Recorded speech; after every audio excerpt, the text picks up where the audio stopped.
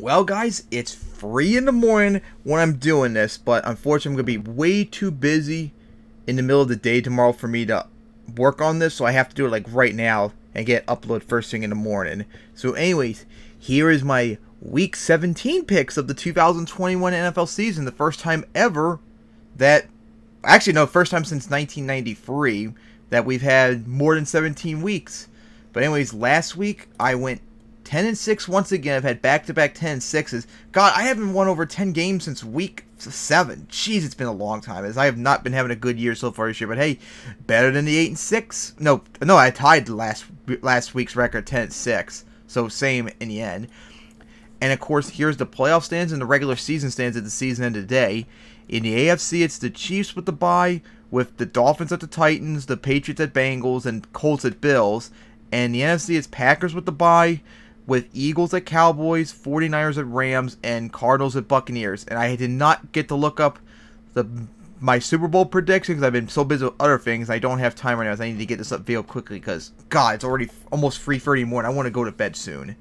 Okay, so anyways, we start off our week 17 with all our Sunday games. There's no more Thursday night as we start off with the Eagles at the football team as the Eagles won the last one the football team hasn't beaten them since 2020, and the Eagles haven't won in Landover since 2019. The Eagles are trying to get their first win in season since 2019. And if they beat the football team and the um, Saints, Falcons, and Vikings all lose, they will clinch a playoff spot for the first time since 2019. And if the football team loses, they'll be officially eliminated from the playoffs. So this is pretty important for both teams. The Eagles are trying to get a playoff spot. The football team's just trying to hold on for dear life. So the, the Eagles crushed the Giants last week after they had a slow start against them. And the football team, oh my god, they got obliterated by the Cowboys. Like all like the update, all the fix in their defense had over the last few weeks, gone. Now they look like back to their terrible self that they were at the beginning of the year. Nothing's going really right for them. Although they did put up a good fight, I fought against the um Eagles. But unfortunately for I probably would pick the football team, but unfortunately they're just not looking good right now. They've lost three in a row. The Eagles looking like a little bit on a roll right now. So I'm actually gonna pick the Eagles. But I guess I won't be surprised if the um football team maybe gets it. Alright. Then we get to the next one, which was originally 4 p.m. as the, the Rams at the Ravens for the first time since 2015. As the Ravens won the last four, the Rams have not beaten them since 2003. As the Rams, if they win and the Cardinals lose, they will clinch the NFC West for the first time since 2018. So the Rams last week, they um Oh my god, the name in the team. Oh, that's right. They beat the Vikings in a close one. Although Matthew Stafford played terrible in that game. The fact that they won that despite how terrible he played is quite an accomplishment. And the Ravens, they got absolutely obliterated by the Bengals as they now lost four in a row as they're barely holding on for dear life in that conference as they really badly need this win to stay alive in the playoff race. But hey, like I told you all year, that record they had was just a lie. They're now playing like how they actually were throughout the season. And I have no idea, honestly, if Lamar is even playing. And honestly, I don't think it really matters. Like, he just hasn't played good this year, really. Sorry, it's just the reality of it. So I have no idea if Lamar is going to play, but honestly, I don't think it's going to matter. I'm going to pick the Rams to get this one. And then it's the Buccaneers at the Jets for the first time since 2013. The Buccaneers won the last one. The Jets haven't beaten them since 2013. And the Buccaneers have never won in New York, believe it or not. And it also reminds me, too, the Rams have never beaten the Ravens in Baltimore, too. Since I forgot to mention that. So, anyways, the Buccaneers crushed the Panthers last week as they've clinched the division, as they're still trying to hopefully clinch mean, get still be in range for home field advantage throughout the NFC side of the playoffs. Meanwhile, the Jets they beat the Jaguars as although their stats still don't look really good, they have turned it, turned it around quite a bit these last few weeks. They've played a lot better. But of course, you're going up against a juggernaut Buccaneers team. Hey, you know what? I give the Buccaneers credit after they crushed the Panthers last week. Their defensive stats are starting to look really good again because their defense has not looked really good at all compared to last year. But I'm going to pick the Buccaneers for this one. This should be pretty obvious. Then we get to a big one in the um, AFC side, as it's the Dolphins at the Titans for the first time since 2015. As the Dolphins won the last two, the Titans haven't beaten them since 2012. And the Dolphins, no, the Titans haven't won at home since 2009. So the Dolphins are trying to get their second straight winning season. And um, the Titans, if they win or the Colts lose, they will clinch a playoff spot for the third year in a row and the AFC South for the second year in a row. So they really need this win badly. So the Dolphins, how about that? Remember earlier in the year when they were one and seven? Well, guess what? Now they're eight and seven. One win away from having a win season, and right now at the season end of the day, they would be in the playoffs. What an unbelievable turnaround. I think they said on Monday night too when they beat the Saints that it was the first time ever a team had a seven game winning streak and a seven game losing streak in the season. Unbelievable. That team has really turned around. Although their offense still looks bad, their defense has really, really turned around really badly. I mean, really good. Like, they even showed the stats on Monday night. That defense is honestly up there as like one of the elite right now. Don't let those stats fool you. They look kind of average. They are elite right now. Meanwhile, the Titans, they, since the team won't come to my head who they last beat, but I know they won. It just wouldn't won't come to my head for some reason. But there's still, I'm a little bit suspect on them though. Like we said, no Derrick Henry. Julio Jones had no impact whatsoever, and Ryan Tannehill's played dog shit this year. It is shaping up to be maybe a possible upset. Oh, that's right. Now remember they beat the, they beat the 49ers last Thursday night. That's right. Comeback too. It is looking like an upset too. And now they got the really tough Dolphins coming in now. You know what? I'm actually going to pick the Dolphins in an upset. But watch, the Titans are going to still somehow win this despite the fact that they shouldn't be winning the games at all. Alright, then it's the Jaguars at the Patriots for the first time since 2015, as the Jaguars won the last one. The Patriots haven't beaten them since 2015. And the Jaguars. Actually, no, this is incorrect. I don't know what this, this one came in. As the Jaguars have not beaten the Patriots in Foxborough ever. So, anyways, the Jaguars lost to the Jets last week as once again that offense can't get anything going as Trevor Lawrence was like eight games in a row now where he still hasn't thrown a touchdown. Unbelievable, terrible production as they just look bad. As possible, they might possibly clinch home number one overall pick if they lose and the Lions win. I think maybe that's possible.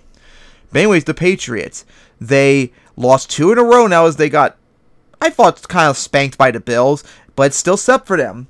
If they win, as I'm looking at the thing right now for the Patriots, where's it at? Right here. If they win and the Dolphins lose, or a couple other things happen, they can clinch a playoff spot for the first time since 2019. So the playoff spot's still there. And of course, the Jaguars are the worst team in the league on paper in terms of record, I don't know if I would say they're the worst team in terms of stats. I think the Texans are worse, which we're going to get to later. But they are definitely a very terrible team. So I'm picking the Patriots to easily get this. Then we get to a big one still in the AFC, as it's the Raiders at the Colts for the first time since 2019. This is the fourth year in a row they've played each other. The Colts won the last one. The Raiders haven't beaten them since 2019. And the Colts haven't beaten them at home since 2013. As the Raiders try to get their first win in season since 2016.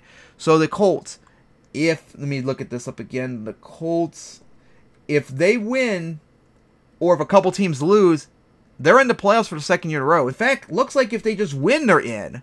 So pretty big for them to get that, as they um they beat the Cardinals in a pretty dominant performance last week, as they've now won what was it three in a row now, looking really really good and honestly kind of a scary team you may have to worry about in the playoffs. And actually, actually at 111. Yes, they're 111 points. That's too funny.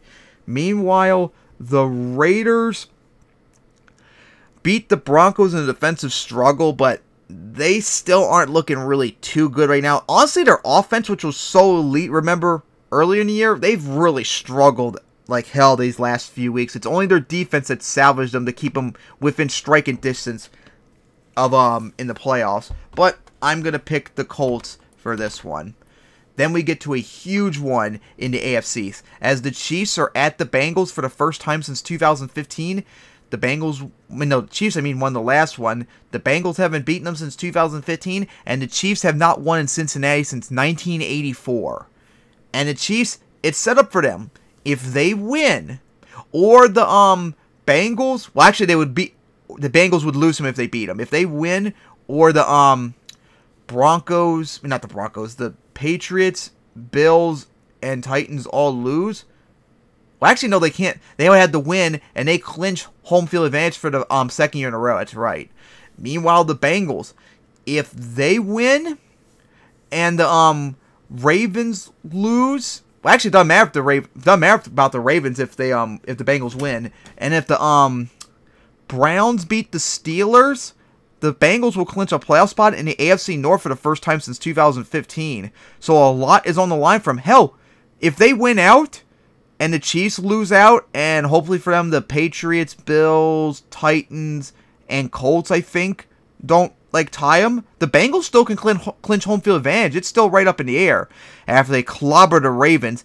This could be one hell of an offensive shootout. But the, the um Bengals got to worry about the Chiefs' defense, and the Bengals have been pretty inconsistent. They've crushed a lot of teams, but they've also been shut down um, a lot of times too. So it's it can go any way with them. But I'm gonna pick the Chiefs for this. Their offense is better. Their defense is actually their Bengals defense might actually be better in some regards. But remember, most of the the Chiefs' terrible defensive stats because they're earlier in the year because they've their defense has been really dominated like the last few weeks, like the Dolphins. All right, so then it's the Giants at the Bears for the third year in a row, as the Bears won the last two. The Giants haven't beaten them since 2018. They haven't won in Chicago since 2007. As the Giants are eliminated from the playoffs once again, as they got crushed by the Eagles last week to no one's surprise. And the Bears actually stunned us by beating the Seahawks when they were down by quite a lot. They went, hey, just like the Ravens remember the last few weeks where they went for a two point conversion and failed. The Bears did, and this time they succeeded as they beat the Seahawks. As they have a lot, maybe trying to salvage like a solid return. I mean, I'm solid um finish to the end of the year. Hopefully, it still doesn't. Hope it still leads to Nagy getting fired because that team needs to get massive rebuild. Like everything needs to be cleaned out in that team. But they're definitely better than the Giants right now. Giants, honestly, like right now in the NFC, they might be looking like one of the worst teams in the NFC. Even the Lions don't, don't seem as bad. I'm picking the Bears for this one. All right. So then it's the Falcons at the Bills for the first time since 2013. Technically 2005 since their 2013 game was in Toronto, remember? As the Bills won the last one, the, the um, Falcons haven't beaten them since 2013 and they haven't won in Buffalo since no, the Bills haven't beaten the Falcons at home since 1995, I mean to say. As the Falcons, if they lose and the Eagles and 49ers win, they are eliminated from the playoffs. And the Bills, as I'm looking correct right now, let's see. Yeah, if they win and a whole bunch of teams lose, they will clinch a playoff spot for the third year in a row. So a lot on the line for both of these teams as the Falcons just barely held on to beat the Lions. as They're trying to get back to 500 again. And the Bills spanked the Patriots pretty damn good. They needed that victory. As they're taking, as they're back in the lead in the division, they still have the um home field advantage up for grabs. Still, that's still a possibility. But I'm gonna pick the Bills for this one. All right, so then we get to our 4 p.m. games, starting off with the Texans at the 49ers for the first time since 2013. As the 49ers won the last two, the Texans haven't beaten them since 2009, and they have not won in San Francisco. So, anyways, the 49ers, just like the Eagles, if they win and the Falcons, Pam- no, Falcons, Saints, and Vikings all lose, they will clinch a playoff spot for the first time since 2019. And then it'll be just about keeping ahead of the Eagles. That way they didn't get the sixth spot. So, anyways, the Texans, they actually won last week. Although for some reason it won't come to my head. Oh, that's right. They embarrassed the Chargers. That honestly was probably the most impressive victory for this year. Not only did they beat the Chargers, who are kind of a playoff team right now, but they spanked them. That is impressive, as they somehow, to my stunned belief, they've actually matched their win total last year with the chance to still improve on it. And that's without Watson. Stunning. Honestly, you might have to say, um, Dave Culley's doing a good job as coaching that terrible team, although they're still terrible. Meanwhile, the 49ers lost a tough one to the Titans, which they did not need, but they're still within striking distance of the playoffs, so they really need it. And I'm going to pick the 49ers to get this. But hey, watch out for the Texans. Don't underestimate them. All right, then we get to the Broncos at the Chargers, as the Broncos won the last one. The Chargers haven't beaten them since 2020, and the Broncos haven't won in LA since 2019, as the Broncos are trying to avoid their fifth straight losing season. And if they lose, and yeah, actually, if they lose, they are eliminated from the playoffs for like the seventh year in a row, I think. Meanwhile, the Chargers are trying to get their first win in season since 2019. And possibly, let me go look. I think they might have a playoff scenario. Nope, they do not. No playoff scenario yet for the Chargers. So, anyways, the Broncos had a defensive slugfest against the Raiders, which unfortunately lost. Meanwhile, the Chargers have now lost two in a row, and that was a terrible loss they had against the Texans. As they gotta be concerned they're honestly kind of underachieving what they're supposed to be. Yeah, they're still right there in the playoff mix, but eh, it's just not looking really good for them. They really need to win out to have any shot to make the playoffs. It's just not looking good for them.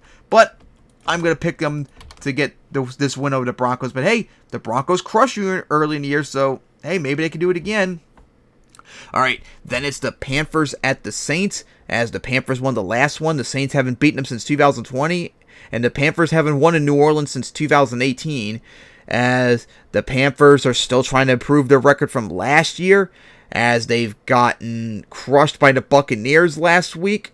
Meanwhile, the Saints got crushed by the Dolphins, which was badly not what they needed. And if they lose, they'll suffer their first losing season since 2016. And if they lose and the Eagles and 49ers win, they will be eliminated from the playoffs. All that momentum they had from that really strong start of the year with Winston, like all gone. And this honestly is going to most likely come down to a defensive struggle, as as we saw these last few weeks. I mean, honestly, like most of the season, the Saints are just nothing without Jameis Winston. Once he was gone, this team just fell off, off fell off a cliff. But although the Panthers destroyed the Saints earlier in the year, and statistically, as you can see, they do have a better defense in them. I still trust the Saints more, as they still, on paper, in terms of like players, are a better balanced team. So I'm still gonna pick the Saints to get this. But hey, I guess I can't be surprised that the the um Panthers somehow get it either. Then it's the Lions at the Seahawks for the first time since 2015. As the Seahawks won the last two, the Lions haven't beaten them since 2012, and the and they haven't won in Seattle since 1999, back when the Seahawks were in the AFC for crying out loud. So the Lions lost a close one to the Falcons, and the Seahawks blew it against the Bears in the snow. That was the first time Seattle had snow, too, since 2008, if any of you didn't know that. That was insane. But they blew it as that was unfortunate for them, as they were now eliminated from the playoffs. It's just nothing's going right for them. Eh, you got to be worried here, Seahawks. You did lose to the Bears, and I think the Bears are a worse team than the Lions. So if you're going to lose to the Bears, what makes you think you can beat the Lions? That's a really tough one. You got to worry about that. But I think I'll still slightly give the edge to the Seahawks for this one. But I won't be surprised if the Lions go up there and beat them. Then we get to a big one AFC, NFC East. I mean, not NFC East, NFC Conference.